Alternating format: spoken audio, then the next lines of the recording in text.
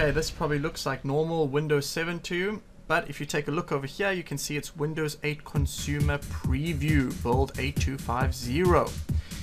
Okay, so this part all looks the same. Very similar to the normal Windows 7 version, but there are a lot of differences, and that's what I'm going to be trying to show you now. I don't know everything yet, but as I go through it, I will be showing you as well. So first of all, one thing that you'll notice if you go into here, there's nothing different really. Right away you can see one difference or two differences and one is library tools and the other is picture tools. Slideshow here. Another new feature is if we double left click on the picture, we get different options here. We can open it with Paint, Photos, Window Media Center, or Windows Photo Viewer, or we can say Seal, and there's a couple of other options. This section is about the same. Nothing has really changed in the gadgets. There are, might be new gadgets, but everything else basically stays the same. Now, the first new thing we're going to be showing is if you put your mouse to the top of the screen, you can actually drag the picture. You can move it around. Look at that. You can drop it there. You can drag the picture, we can drop it over there on the side, and we can extend it again. If we go to the top corner of the screen, we'll get a few options over here. So we can go to search, and there's, whoa, a lot to search from. Go back to the corner, we have share. So, so this is quite nice. What happens is if you have something open like a game or so on, you can quickly go to the share button and you can share your score, whatever you're doing. That's pretty nice, especially for this day and age where we all like to share everything with everybody. Also, it's quite nice, as you can see the clock down on the left corner, which is quite nice to have. Uh, this is the main feature of the program. I'll be showing you this a little bit later. Let's go to devices. Okay, this shows you second screen. And then what's quite nice is you can duplicate or extend your screen or second screen only and so on. So quick options over there go to the corner of the screen again and settings. These are the settings, control panel, personalization, PC info, and help. Very quick access to all information you need. Let's go to control panel and go to system and security and system. Over here, this is something that's new. So here's all my information about my computer, but this is not what I wanted to show you. What I do want to show you is Windows Experience Index. Let's click on this. As you can see, the score now can be increased all the way to 9.9. In the previous Windows it was 7.9 and now it's all the way until 9.9. That thing on my computer got 9.9, my processor got 8.1, my memory got 9.1, my graphics got 7.8, so now there's room for improvement on the scores. Let's close this. So one of the new features on Windows 8, if you go to the corner, you can click over here and it'll go to the some of your recent activities. Here's Solitaire. If we go to the top left, you can see I've got Solitaire open there. We go down a little bit and it'll open some other things. For example, this is for viewing pictures and some other things I've been trying to do. But let's go to the real bottom and take a look at the main start menu. When you open up Windows, this is what will load up first. Now, there's a lot of options over here. If we go to here, we can change our settings. So you can see there's quite a few different options. Changing my picture, use information, notifications, search, sharing, general, privacy, devices, ease of access, sync your setting, home group, and Windows Update.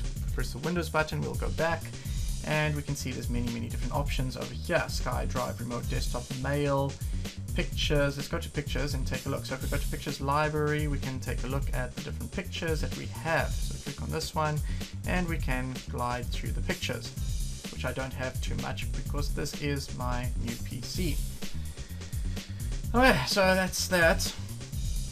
You can go through this very quickly on this side. We've got sample pictures, there's nothing there. Oh yeah, we've got the store. Let's go to the store and see what loads up.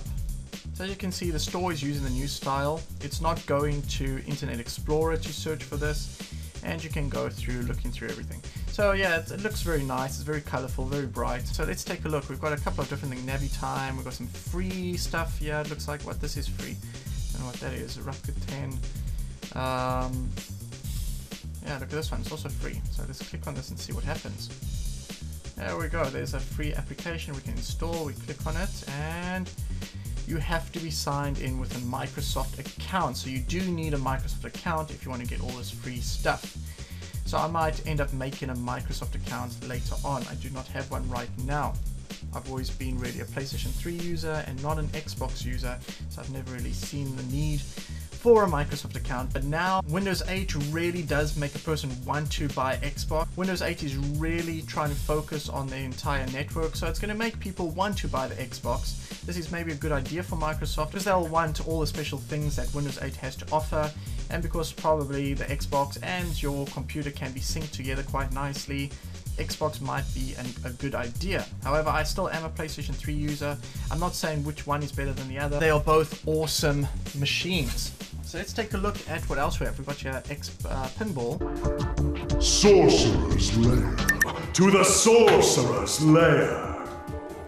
Go to Maps. Oh yeah, so that's pretty nice. Do you want to turn on location service and allow maps to use your location? Allow. And there we go, it, it found me. So that's pretty awesome. Live, I don't have an Xbox, so I'm going to skip that. We've got Internet Explorer. Trophies in Unit uh, go. 13, like- Let's take a look at the calendar. Okay, you do need a Microsoft account for the calendar. So, wait, let me try one more time. Yeah, you need a Microsoft account. Okay, then we've got Reader, which you probably need a Microsoft account as well. I've got no books, so it doesn't really help. But it does have the weather over here in Seattle, but not in Japan. So that's something, unfortunately. Finance. So this is pretty cool, shows the stock and everything. Yeah, pretty awesome. All the information is here. This is pretty awesome. Let's go back out. We have video player to watch videos. See if there's anything special about this one. Yes, agree. Uh, okay, and wow, look. Yeah, there's actually some stuff that looks like that a person can watch straight away. Your Highness. Let's click on this and it goes straight to this part. Thanks for watching this episode of Windows 8. I will be showing you more about the software in the future as I learn more about it and find out new things.